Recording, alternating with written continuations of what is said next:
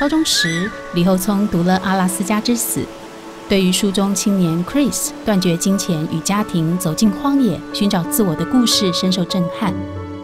为了和自然在一起，李厚聪到美国学习传承自阿帕契族原住民与自然共生的智慧。二零一四年，李厚聪出版了《阿拉斯加归来》，记录荒野的淬炼与这趟奇幻之旅。